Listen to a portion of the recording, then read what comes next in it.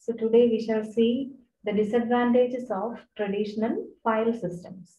So uh, in the slide, it is being listed out data redundancy, inconsistency, accessing data, data isolation, integrity, atomicity, then uh, concurrent access, security. So let us see uh, all these uh, points one by one. Okay. So um, the first one is data redundancy. So this is one of the disadvantage in the file processing system. So you might have seen yesterday I have uh, said an example of a banking system. So each official will be maintaining separate ledgers or um, books actually. In that, the same customer's entry will be duplicated. Not only in bank, in hospitals, in colleges, every section should be uh, should maintain separate files, and this will be uh, leading to a duplication of data. A redundancy means duplication of the same data at various places. Okay, so uh, the uh, files, for example, if uh, a person, if a student is taking admission um, in a college, at the time of uh, admission, he have to fill uh, a particular application form and all the details in the application form will be entered in a ledger or something. I mean, uh, a um, book or something, a record book or something in the office initially. And when he joins for a particular course, he will be uh, enrolled in the concerned department. And in the department file also, the same student's data will be stored or maintained.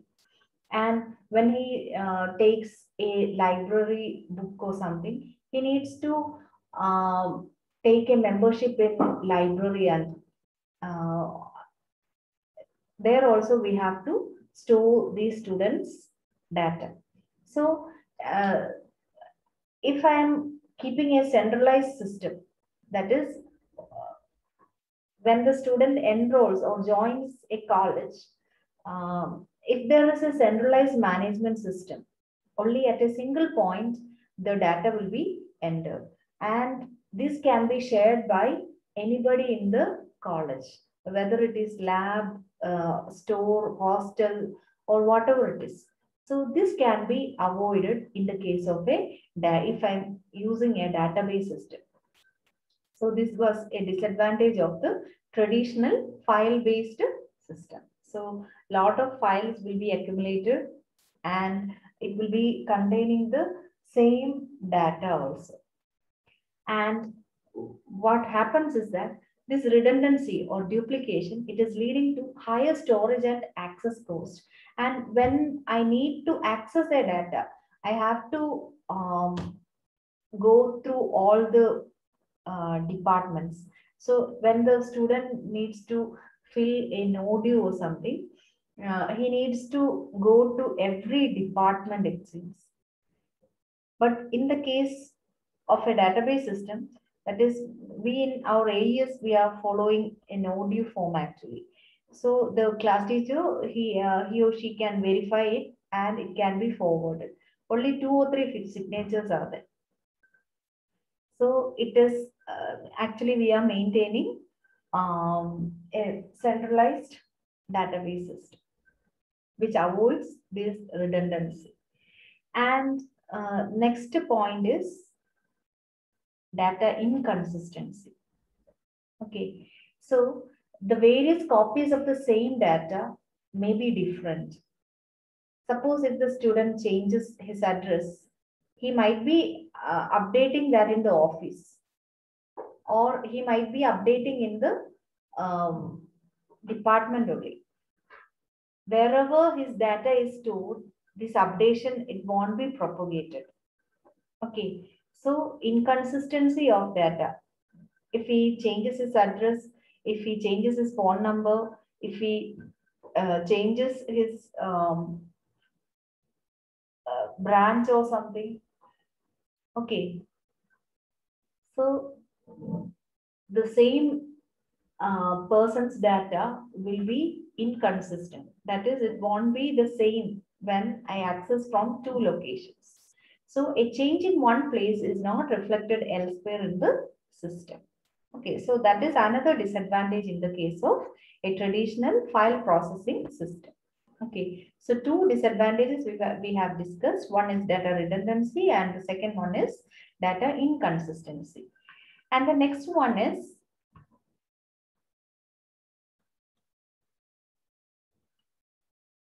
sorry. Next one is difficulty in accessing data. So last day we have seen uh, while doing lab, uh, I can access data you by specifying a where condition.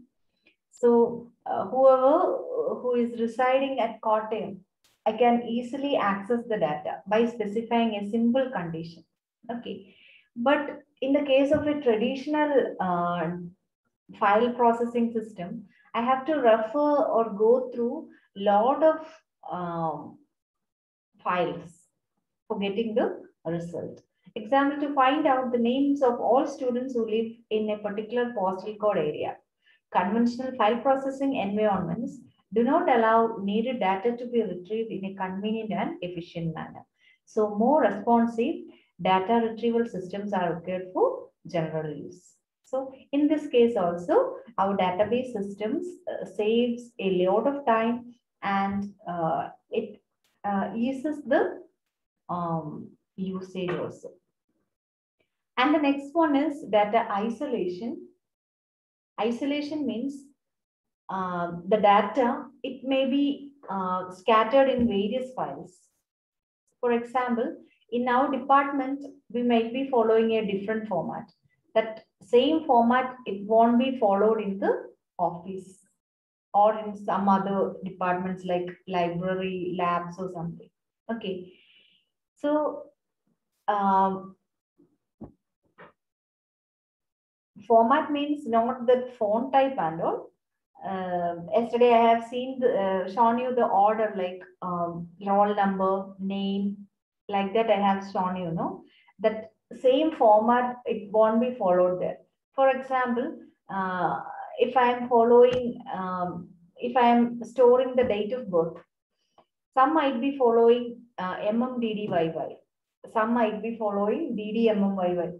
Like that, uh, misinterpretation may be there. So if I'm using a common structure or a common storage uh, or a common database, uh, this uh, format variation, it won't be there. Okay. So that is the fourth point. So data redundancy, data inconsistency, then difficulty in accessing data, data isolation. Okay. And the next problem is integrity problems. Okay. Integrity problems means, what is integrity? If I'm storing five, when I access that one, it should remain as five itself. It should not be changed to some other values. That is integrity. So uh, the data value stored in the database must satisfy certain types of consistency constraints. For example, um, some fields like um, if in the case of a bank, the account balance, it should never fall below zero. In a file system, I cannot enforce these constraints. But in the case of a database, I cannot uh, withdraw or transfer amount from my account if my um, this one account balance is zero.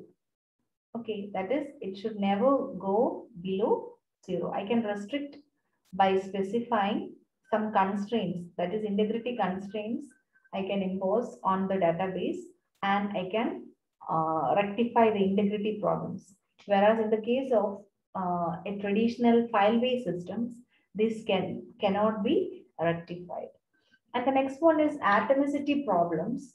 Actually, it is difficult to ensure atomicity in a, a conventional file processing system. What is atomicity? What is atomicity in uh, DBMS?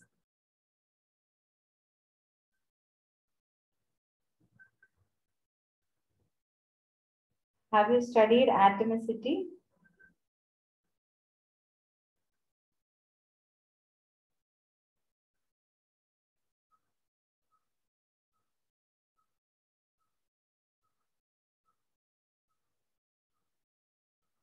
Have you heard about uh, atomicity?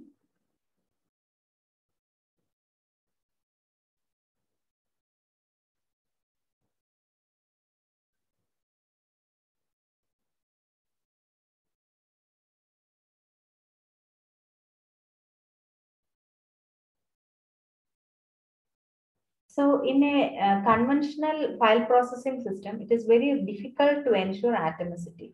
Atomicity means um, we know that atom, it cannot be subdivided or something. Okay. So either it should be full or it should be nothing. Only that condition is possible. So we are considering an example. Um, we have a program to transfer $500 from the account balance of department A to the account balance of department B. If a failure occurs during the execution of the program, either this dollar $500 um, might, might be removed from the balance of department A, but it was not credited to the balance of department B and this leads to an inconsistent database state. Okay. So, uh, this is because a system failure occurred after uh, A transferred this amount to B, but B didn't receive that. So, we have to ensure consistency. Either we have to cancel that one. Either I have to update um, or credit that amount to department B, or I have to uh, refund that amount to the uh, department A. Okay, so this feature, it must happen in its entirety or not at all. Okay, so this feature is, it is termed as atomic or atomicity. Okay, so um, this can be done using a database system or use, using a database system only. I cannot ensure this one um, that is atomicity using a traditional file-based system.